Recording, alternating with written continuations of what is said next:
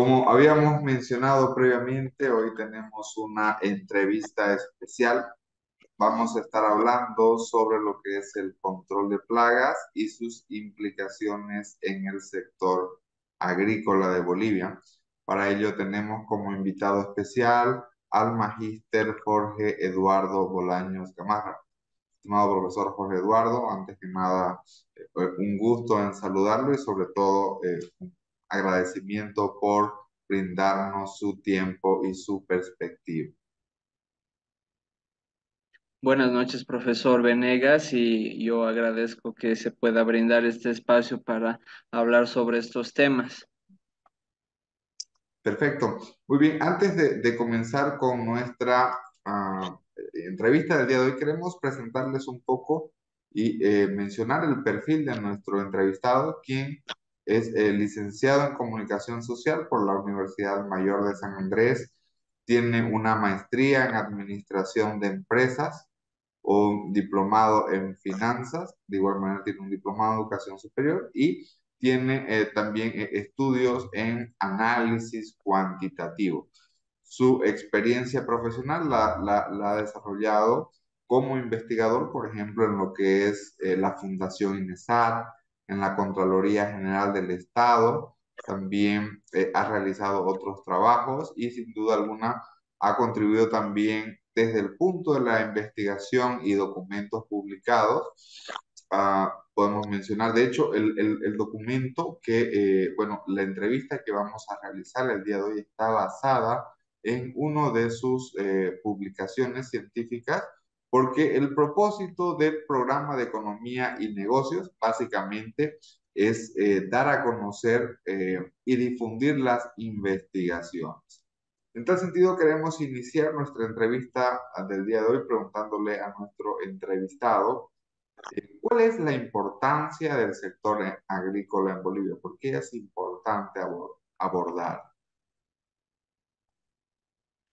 bueno, eh, evidentemente en todos los países el sector agrícola tiene una gran importancia porque está relacionado a la capacidad que tienen los países de garantizar su soberanía alimentaria y de asegurar el desarrollo sostenible. Sin embargo, en el contexto actual en Bolivia, el sector agrícola adquiere particular importancia porque dentro de la planificación de mediano plazo del Estado es decir, el Plan de Desarrollo Económico Social 21-25, eh, plantea que la agricultura tiene que ser considerada como un polo para el desarrollo productivo para la sustitución de importaciones, o sea, el gobierno ha planteado que la agricultura tiene que ser utilizada como una herramienta para lograr esta meta de la sustitución de importaciones. Y al mismo tiempo considera a la, al sector agrícola como un medio para poder abastecer el mercado interno, para incrementar la producción y potenciar las exportaciones. Eh, en ese sentido, o sea, dentro de esa visión de mediano plazo que tiene el Estado boliviano, se está dando mucho énfasis a lo que es la agricultura. Además, en los países en vías de desarrollo, en general, la agricultura es importante porque eh, históricamente se ha dado que los países eh, pobres que han atravesado por procesos de eh, expansión que les han permitido avanzar en la convergencia económica respecto a los países desarrollados, eh, han tenido un componente de expansión del sector agrícola porque es un sector eh, muy importante que está vinculado a, varias, a varios otros y además contribuye a través de la generación de empleo y la potenciación de la producción interna. Entonces, es importante siempre analizar las problemáticas y las tendencias que se dan en el sector agrícola. Perfecto. Eh, toda vez de que nuestro programa el día de hoy está relacionado con lo que es el control de plagas y sus eh, implicaciones para el sector agrícola, eh, queremos consultarle, bueno, en todo caso, ¿Qué es lo que entendemos por plaguicidas y pesticidas? ¿Son, por ejemplo, eh, términos iguales? Eh, ¿Existen diferencias? Y sobre todo, eh, ¿por qué es importante el, el, uso de plaguicidas en términos para el sector agrícola? Eh, en general, los términos de plaguicidas y pesticidas se utilizan de forma sinónima para referirse a todos esos agentes químicos ya sean naturales o antropogénicos, o sea, que han sido creados por el ser humano, que se utiliza para controlar, prevenir y combatir las plagas que afectan la productividad del sector agrícola. Y es en ese sentido que, pues en el último tiempo, por lo menos desde después de la Segunda Guerra Mundial, a nivel mundial. La utilización de plaguicidas se ha hecho muy importante eh, en el sector agrícola, en particular en los países en vías de desarrollo, porque son una especie de seguro contra estos males que se suelen dar y que perjudican a la productividad y al rendimiento agrícola. Y más aún considerando que actualmente nos encontramos en un... Eh, sistema de eh, producción agrícola a nivel mundial en el que se prioriza la intensificación, es decir, la maximización de los rendimientos. ¿Y esto por qué? Porque la expansión demográfica a nivel mundial exige que el sector agrícola tenga eh, una producción mayor para satisfacer esa creciente demanda y necesidad de alimentos y es eh, para eso que la, los plaguicidas y los pesticidas son una herramienta que ayuda a mejorar esa eh, productividad y, y, enfrentar ciertos problemas que pueden afectar a la, a la producción. Sin embargo, eh, pese a esa importancia que tienen estos químicos, eh, evidentemente hay muchos problemas que han sido señalados y discutidos desde, desde hace tiempo, en especial por organismos como la OMS y la FAO, que señalan que estos eh, químicos son peligrosos cuando se consumen por encima de un determinado nivel de seguridad. O sea, la OMS, por ejemplo, realiza estudios a través de los cuales determina los diferentes químicos, eh, cuál es esa franja de seguridad hasta la cual se puede ingestir, ingestar de manera segura alimentos que hayan sido producidos con esos elementos y cuando se consumen eh, alimentos que están por encima de ese límite, ahí es que se dan los problemas para la salud que han sido eh, siempre señalados y denunciados. Y lo irónico es que eh, en el, en el mundo en vías de desarrollo, el 80 por, se, se desarrolla el 80% de la utilización de estos químicos. Sin embargo, es en los países desarrollados donde se dan el 99% de las intoxicaciones y la OMS ha establecido que por año se mueren 20 mil personas a nivel mundial por intoxicación debido a consumo de plaguicidas. Ahora no se puede decir que todos los plaguicidas sean igual de malos porque existen también los bioplaguicidas que se considera que son un poco menos perniciosos, que son eh, más seguros, pero al mismo tiempo son menos potentes y muchas veces menos efectivos para resolver esos problemas debido a la presencia de pestes y de plagas. Y hay otros que son mucho más... Eh, eh, potentes y peligrosos. Y en el caso de Bolivia, lo que ha sido destacado por muchos estudios es que en un 70% los plaguicidas que se utilizan en el país son plaguicidas que han sido prohibidos en otros países porque son muy peligrosos y porque son de baja calidad. Sin embargo, acá están permitidos y son muy utilizados en el área rural. Ese, ese es un dato bastante alarmante, Magister Jorge, el señalar que el 70% de los plaguicidas eh, utilizados en Bolivia son prohibidos en otros países. ¿no? En tal sentido, eh, queríamos consultarle si existe alguna instancia de regulación que pueda verificar estos, eh, esta información. Me refiero, por ejemplo, de que un producto agrícola en particular no tenga un alto contenido tóxico. Eh, en particular, se encarga de esa tarea el Servicio Nacional de Sanidad Agropecuaria e INE. Inocuidad alimentaria, que es el SENASAC, y también, eh, obviamente, al estar vinculada esta instancia al Ministerio de Salud, también es una responsabilidad ligada a ese ministerio y al Ministerio de Desarrollo Rural y Tierras. Y el Estado boliviano no es que no es consciente de la, existencia de este problema, o sea, ha sido...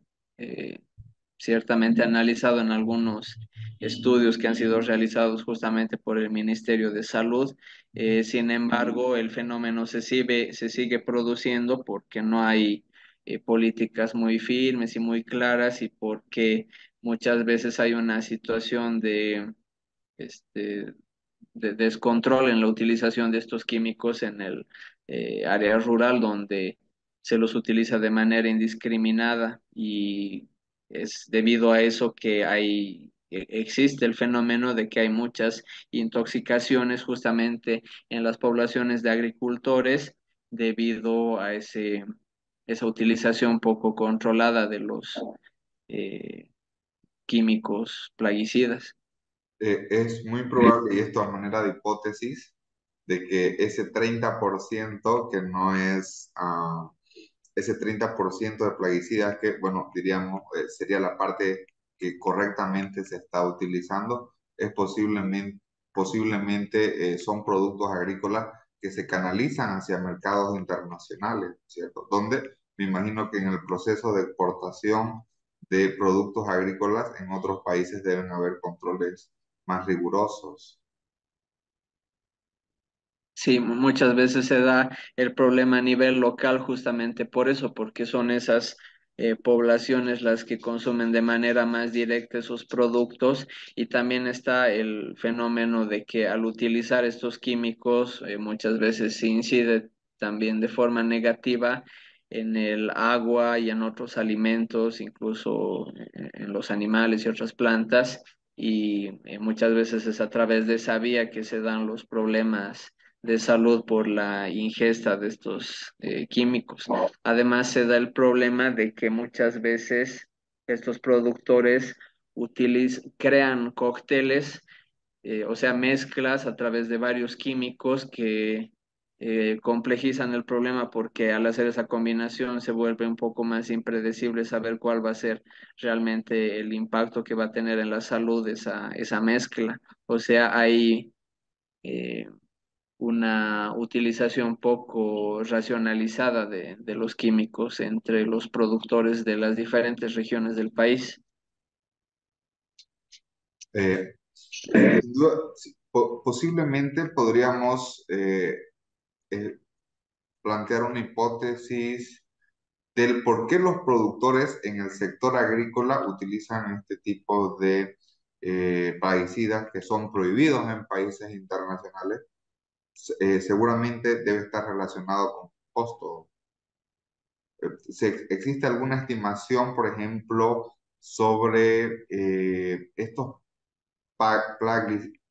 plaguicidas o pesticidas? ¿Qué porcentaje pueden representar de los ingresos de los productores agrícolas dentro de su estructura de costo?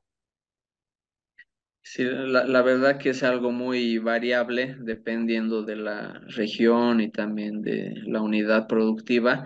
Sin embargo, lo que se sabe es que hay plaguicidas que tienen precio que puede ser desde 3 bolivianos hasta los más costosos que pueden ser de 6 mil bolivianos por kilogramo. Y el, el problema justamente es ese, como son productores de bajos ingresos, eh, muchas veces recurren a los productos químicos de menor calidad y que por lo tanto son menos seguros, porque también hay otros productos químicos que tienen mayor calidad y que como reflejo de eso son más seguros.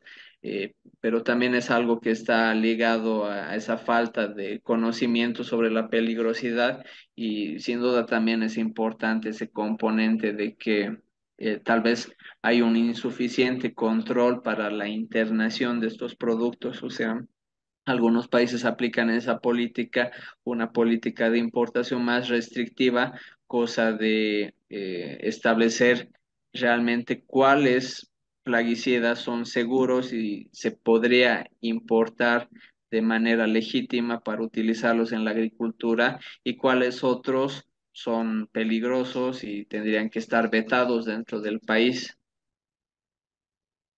Muy bien, muy bien, no, no, no por el, por, no por el contexto, ¿no? sino por, por la respuesta. Eh, dentro de lo que es el contexto del sector agrícola eh, en Bolivia, eh, ¿qué tipo de cultivos podríamos señalar que utilizan ah, plaguicidas en mayor o menor uso? Bueno, también aquí podemos imaginarnos que puede ser variable la respuesta, pero por ejemplo, existen algunos cultivos en los cuales no sean necesarios los plaguicidas o en todos los cultivos deben utilizarse. Eh, sea, hay, hay un estudio importante de una eh, investigadora alemana que se llama Ulrich Wickel, eh, justamente el cual yo tomé como referencia debido a que no hay muchos estudios sobre este tema para el caso de Bolivia. De hecho, ese es uno de los primeros que o sea, lo hizo como parte de una investigación para una tesis de maestría en una universidad alemana y ella pudo determinar eso, que, o sea, depende de eh, la unidad productiva y también depende de la región.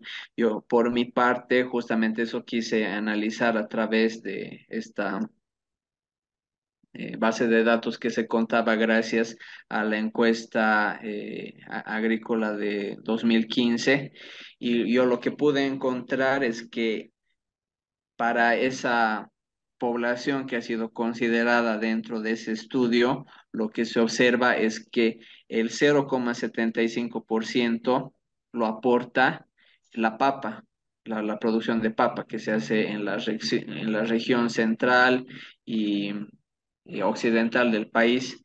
En segundo lugar, la quinoa, con el 0,47%, en tercer lugar el maíz con el 0,22% y así sucesivamente y, eso sugiere que estos tipos de producción que están menos modernizadas y están menos próximas a un patrón industrial, tienen esa tendencia a recurrir en un mayor grado a la utilización de químicos peligrosos.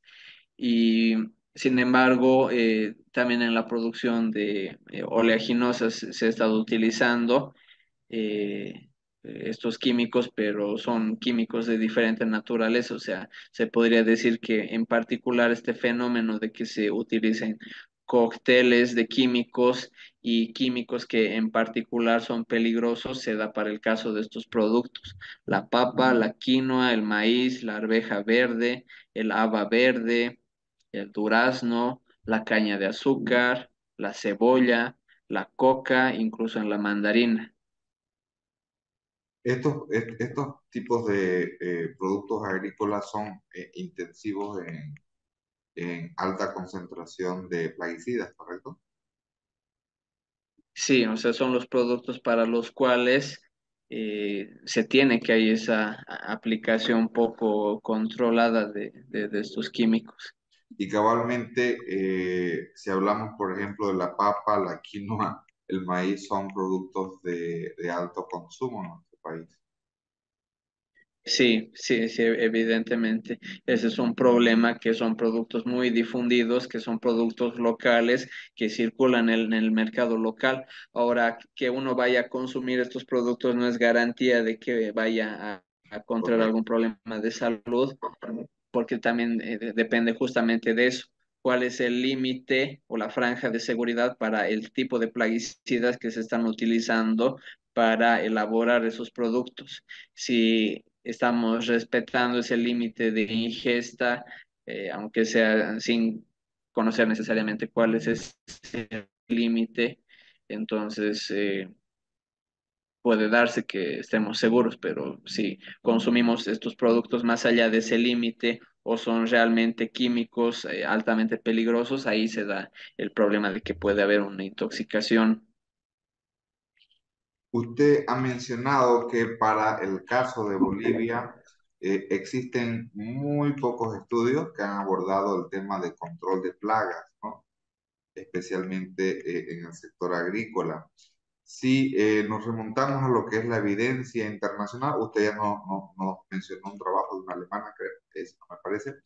¿Qué, ¿Qué, dicen estos estudios y evidencia eh, internacional sobre cuáles serían los factores determinantes en el, en el uso de plaguicidas o en el control de plagas? Dicho de otra manera, ¿no? ¿De, de qué depende el, el, la utilización de eh, estos eh, pesticidas o control de plagas? Eh, yo lo que pude encontrar es que los trabajos que tal vez tienen más cientificidad y que están más rigurosamente planteados para el caso de Bolivia es justamente ese de Ulrich Wickel, que es para la Universidad de Rostock, donde ella hace un análisis de los impactos sobre las familias de productores desde un punto de vista de salud, ecosistemas y la economía campesina. Y en el caso de ese su estudio, ella, el momento de analizar los factores determinantes del uso de plaguicidas, lo que identifica es que los principales son factores institucionales y factores educativos, o sea, justamente esa ausencia de eh, controles, prohibiciones, intervención del Estado para evitar que estas eh, eh, familias utilicen ese tipo de productos. también la falta de una formación sistemática de los productores agropecuarios, también la, la falta de este, una asesoría privada o pública para los productores, entre otros factores. Y un factor que en particular ella destaca es el bajo nivel educativo. O sea, según ella, las familias que, en las que los productores agropecuarios tienen un bajo nivel educativo son las que están más inclinadas a utilizar de manera indiscriminada y poco eh, racionalizada eh, este tipo de químicos. Eh, por otro lado, hay otro estudio que también me parece que es, trata de ser completo, que es de Rafael Cervantes Morant, que aquí tengo el título, que es Plaguicidas en Bolivia, sus implicaciones en la salud, la agricultura y el medio ambiente, que trata de hacer una síntesis global así sobre la problemática de los plaguicidas y trata de llamar la atención sobre que es peligroso para la salud y sobre que en otros países hay tal vez políticas más estrictas para controlar la utilización de estos productos. Sin embargo, eh, coincide en muchas de sus conclusiones con las de Bickel en particular en eso, que son factores institucionales y, y educativos los que generan este problema. O sea, falta de intervención del Estado y falta de educación de los productores, en resumen. Ahora, por mi lado, yo traté justamente de analizar eso encontrar cuáles son los factores que llevan a eh, utilizar estos productos desde un punto de vista microeconómico. Y yo lo que pude encontrar es eh, justamente eso, que hay, aparte de esos factores educativos e institucionales, algunos factores que tienen que ver con información y con temas de seguro. Eh, por ejemplo, el conocimiento del seguro agrario Pachamama, porque eso tiene que ver con el hecho de que los plaguicidas son una especie de seguro, porque muchas veces los productores agropecuarios enfrentan grandes problemas que pueden comprometer su cosecha entera. Entonces, si no tienen acceso a un seguro, si no tienen conocimiento, por ejemplo, de, de este seguro que se llegó a ofrecer a nivel nacional, entonces se ven en la necesidad de utilizar los plaguicidas como una especie de seguro también los eventos climatológicos, o sea, cuando tienen poca información sobre eventos climatológicos y por lo tanto tienen eh, una poca capacidad de respuesta para proteger a sus eh, cultivos frente a esos eventos climatológicos, eso los hace más propensos a querer utilizar esos químicos para proteger frente a otros problemas, eh, ese ese es su cultivo. También tiene que ver el mes de cosecha, es algo que influye. también tiene que ver la manera en la que está organizada esa unidad productiva y la manera en la que se toman decisiones. Y también el hecho de que sea un cultivo, un tipo de cultivo independiente, o sea, que sea un cultivo que está separado de otros y que se desarrolla de forma aislada. O sea, por lo menos eh, la encuesta agropecuaria de 2015, eso es lo que revela, que esos son factores que hay que considerar y que estarían correlacionados por lo menos a un nivel estadístico, microeconométrico, con esa probabilidad de que estas unidades de producción utilicen químicos. Eh, perfecto, estimado magíster Jorge, el tiempo nos ha quedado demasiado corto.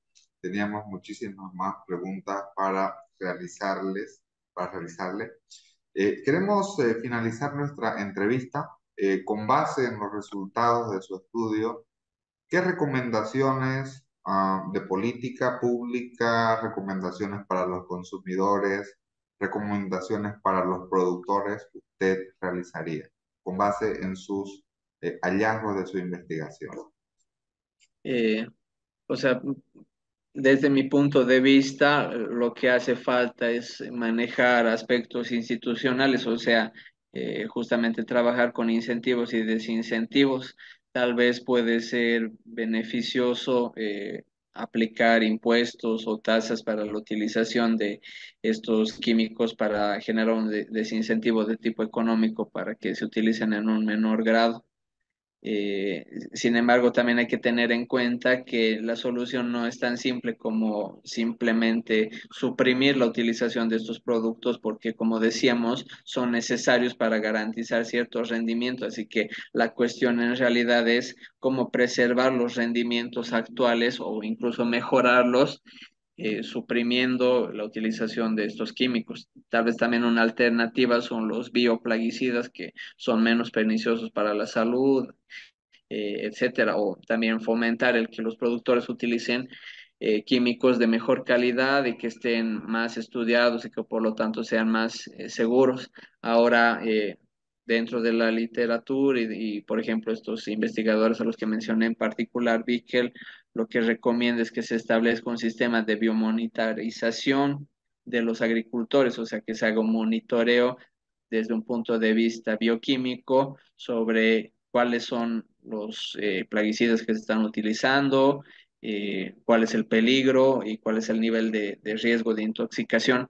Y también pienso que es importante plegarse a esas pautas que brindan la FAO y la OMS respecto a, los, a las franjas de seguridad para la utilización de determinados químicos, para saber cuáles son más seguros y tienen una franja más amplia y cuáles tienen una franja más estrecha para, eh, en caso de que corresponda realmente aplicar restricciones. Y en el caso de las personas, pienso que sí hay que ser conscientes de que hay ciertos productos eh, para los cuales se utilizan estos químicos y hay que ser un poco eh, cuidadosos en no consumirlos en exceso.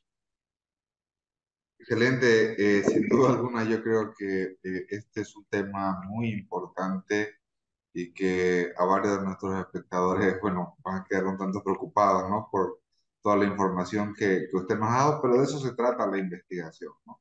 Se trata, muchas veces no podemos solucionar un problema con la investigación, pero damos a conocer un problema y explicamos alternativas de solución.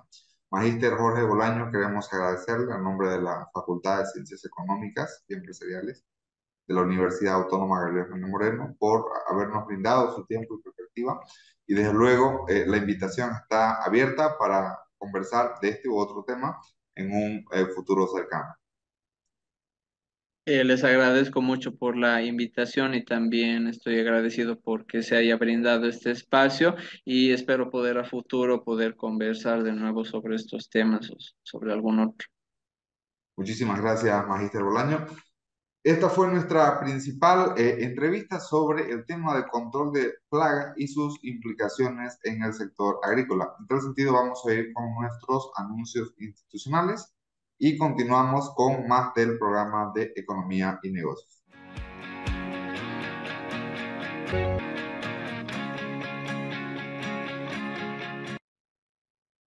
En nuestro programa del día de hoy estuvimos abordando la temática del control de eh, plagas o plaguicidas, eh, también llamado con nombre pesticidas, y su importancia para el sector agrícola. Básicamente, si eh, em, abordamos de por qué es importante el sector agrícola, tiene al menos tres características importantes. La primera de ellas es que está el sector agrícola brinda la seguridad alimentaria del país. Número dos, está orientada a lo que es el desarrollo sostenible. Y número tres, eh, es una fuente importante de generación de empleo y es eh, tiene un, un, un, aporte relevante a lo que es la actividad económica, inclusive también a las exportaciones.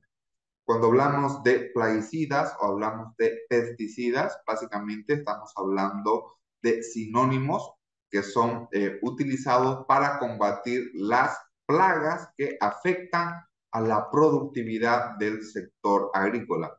la utilización de control de plagas es como un seguro para el rendimiento agrícola. Sin embargo, hay que tener en consideración lo que dice la FAO y lo que dice la, OM, la Organización Mundial de la Salud, la OMS, que eh, la utilización de eh, ciertos plaguicidas son químicos peligrosos que pueden afectar a la salud. De hecho, hay una estadística donde señala que el, eh, más de 20 mil personas al año mueren por intoxicaciones de, de estos pesticidas o plaguicidas.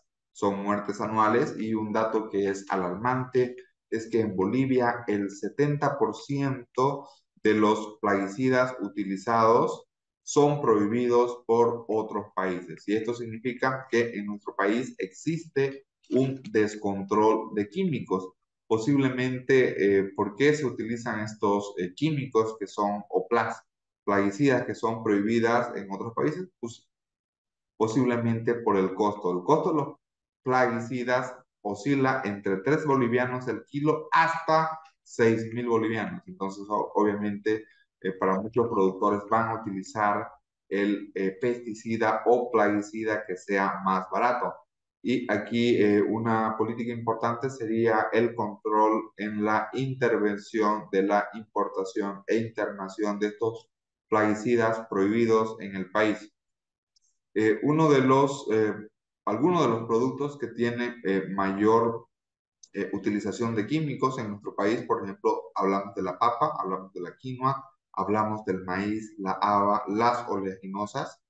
Y eh, dentro de los factores que eh, explican por qué se utilizan ciertos plaguicidas, un, factor importante son las instituciones, especialmente cuando existe debilidad institucional de control. Y el segundo importante también es la educación. Por lo tanto, ¿cuáles son las recomendaciones?